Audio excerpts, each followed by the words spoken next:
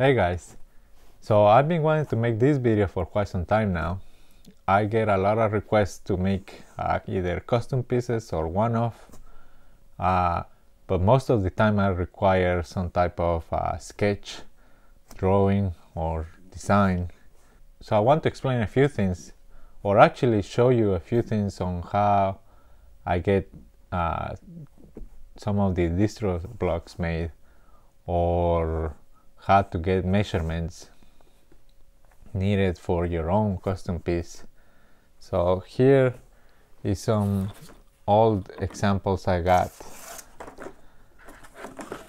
just to give you an idea. Um, the way I, I like to start is by cutting a piece of cardboard of the area that you want to maybe put a distro block or a reservoir and from there try to get some measurements. So for example something like this. I will try to measure the height of the piece that I want it to be the width and any cutout. So I will try to get the measurement from the top to the to this edge. Uh, put it maybe right here on the cardboard write it the distance same thing with the distance here and the distance between here and here. Um, once I get the cardboard cut out I like to you know place it where it might actually go. And from there I like to either start trying to imagine how am I gonna run the tubing for the for the loop. So for example something like this I will say uh, maybe the water goes in right here it goes up to here then maybe another port somewhere here uh, that will go into the in from here I can either come back maybe into here again or go into the CPU from the CPU come back into here and so on. So we can start to just you know put the little holes in the piece of cardboard for something like this which has more like an angle it might be a little more difficult for people to uh, give me these measurements if they don't know how to do that.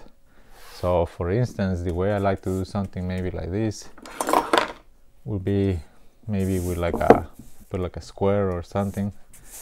And from there I will say okay the height from here to here it's um, let's say 300 millimeters.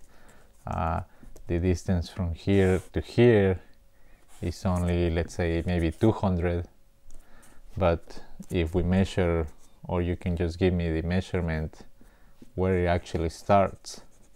So by measuring the bottom edge to where it starts then you can put uh, from here to here it's uh, 100 millimeters or 50 and the same thing for the top edge uh, the width.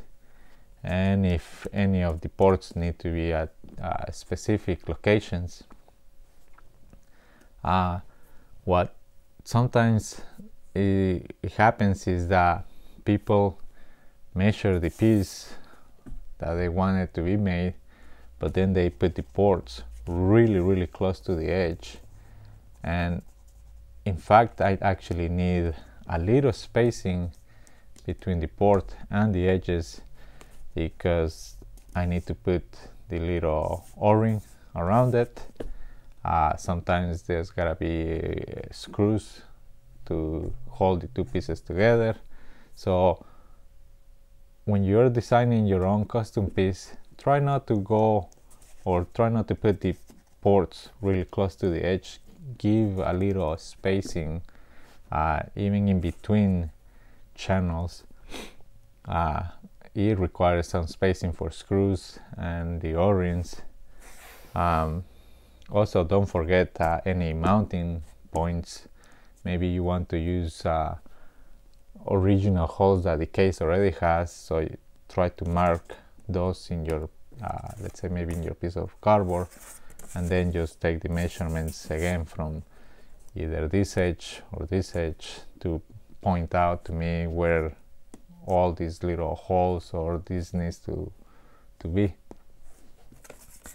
um, so today what I want to try to do is maybe a distro play for this uh, HYTE Y60 case and maybe show you a few things on how I do it. Here I got the piece of cardboard so I'm just gonna put it inside the case just to give me like I said an idea of the distro block I want to create. Uh, the next thing I will try to do will be mark all the locations for the ports so we're gonna we're gonna maybe these are just like I said maybe right now. I will maybe try to put there is two two ports for the for the side radiator. So maybe I will put like a port somewhere here and another one in the other side. So it will be one connection for one side one connection for the other side. Uh, this distro block it's a bit tricky because of the width. Uh, here I have a, a pump bracket and it's almost the same width as this piece of cardboard. So it will be a little tricky to put a pump plus a lot of channels in and out in this amount of space. That's why I say try to put the the ports no close to the edge but a little farther in because I'm gonna need space for O-rings maybe for a pump. So for instance I'm just gonna in mind that the pump is gonna be somewhere here. The next thing will be to start putting all the ports for here. Uh, I can maybe use like a piece of like a like a ruler. So here I'm just gonna do something like this and say like okay my measurement will be here. Come to this side and maybe mark it. And then say okay uh, one port will have to be right here. Uh, maybe see if I can get the one for the for the CPU so somewhere here I know the distance from one port to the other port. So let's say I can just put another one here. And we want maybe a connection for the top radiator.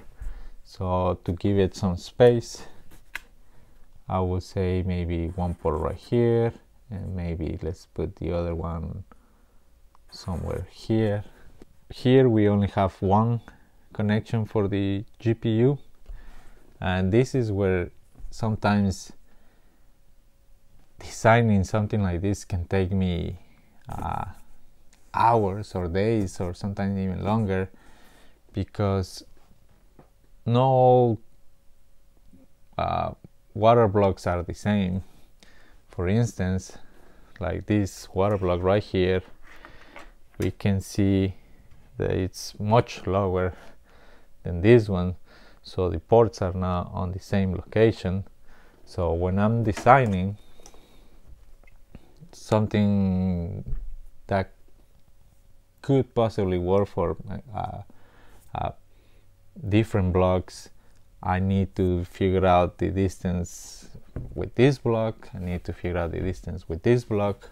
So for this setup what I'm gonna try to do is maybe use uh, 290 degrees. So it can be something like this. So the same thing I just come take my measurement. Uh, I actually like to do it with a laser level so all my lines will be marked right here in the cardboard so I can take it like this. But for for the purpose of this video I'm just gonna be using let's say this uh, ruler. So I've just come and I say okay my next port will be right here. So there is all the ports let's say maybe I need for this distro block and he actually the 90 coming down. Is actually at the same level for this block over here which again no all water blocks are the same but they're all kind of close to each other somewhere a little somewhere around there. So when I design these pieces I try to accommodate somewhere in between uh, try to give the most parallel runs. Um, so once I have this the next thing like I said will be for me to do to try to input all these measurements into my program uh, figure out uh, the spacing that I need. Now this is the other the other part that sometimes is a little tricky and that's why it takes me a, long time is the size of o-rings. Uh, for instance let's take this for example. Let's say the channel right here goes is gonna go something like this. So I'm gonna need an o-ring that goes like this and let's say that this other piece over here is gonna have maybe an o-ring like this. So what happens is that the o-rings that I have in in stock or that are available for me it come in certain sizes. So let's say this o-ring right here might not match up to the o-rings that I have so I need to either try to figure out that if there is a uh, an o-ring that's closer to the size that I need and then adjust the design to make the o-rings fit. So sometimes uh, let's say the o-ring might be smaller. So in order for me to to make it smaller my, I might say like well this port cannot go there. I'm gonna have to put it somewhere up here and then this o-ring will be a little smaller because that will give me the same the the exact o-ring that I need for this piece let's say. So when people design their distro blocks give sometimes you got have to maybe give me some space to play around with how to make the channels something like this I might have the sizes uh, but when it start the o-rings start to get bigger and bigger after the 200 it starts to jump uh, like uh, two I think it's like 216 and then 240 and then from 240 like 292 so there is not that many sizes in between uh, 200 and 292 so I gotta work with those o-rings to try to make all of this fit uh, at the same time is one of the reasons of why I don't make large pieces because the o-rings they don't make those large o-rings. The only way will be to uh, have the have to order the o-rings custom made. But by ordering custom made o-rings what happened is that I have noticed that in the past the o-rings are bonded. So you have like a seam and to me I feel like the seam eventually could fail if something were to maybe when you're cleaning it maybe you pull it maybe pull the the o-ring and may might, might split apart. So that's why I try not to use custom o-rings anymore. But uh, for some pieces there is no other way but only to use a, a custom o-ring. Take longer to get. I gotta order them wait for them to make them and then send it to me. So that could take uh, a week sometimes almost two weeks. So here's the piece of cardboard. After I cut all the holes uh, that I marked in the piece of cardboard and I like to just do like a like I said like a imagine or try to build a loop with it. Uh, that way I can figure out if all the placement of the ports will actually work. Uh, sometimes sometimes you know I notice that once I cut the piece of cardboard maybe the port maybe going to the top. Might not actually work out or it might make a little difficult to connect. So sometimes I end up moving them or switching them. Um, so here's just an idea of what the the distro plate might look like. Hopefully I get this piece done and it will be available in my store. And but if you guys have any questions about this video or something about how to make a custom piece just let me know. You can send me a message or leave me a comment here on this video. Uh, thank you so much for watching and I'll see you next time